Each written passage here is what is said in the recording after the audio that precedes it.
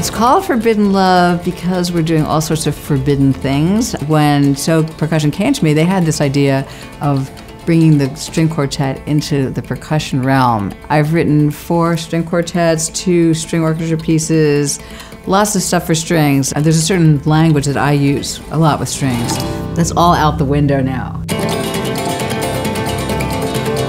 It's such a gift, really, to be able to work with Sō because they've already established all of their theatrical work being so open to playing anything from a cactus to um, a, a, newly created instrument. So every time we get together, we go, well, what's possible? How can we make sound with bows, with strings, with chopsticks? How, what's, what's possible? This back and forth collaboration is really unique. We're only going to get to the unknown because we're, we're figuring it out together.